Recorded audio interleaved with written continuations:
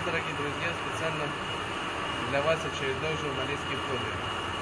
Те из вас, кто знают мои отношения с высотой, наверное, оценят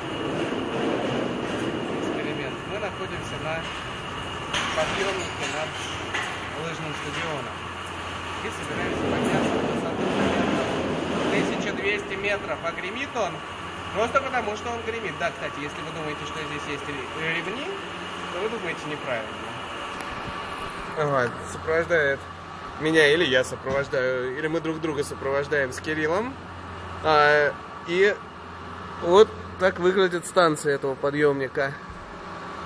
А вот туда вот мы сейчас, по идее, должны двинуться вперед к светлому будущему. Будем надеяться, что до встречи наверху.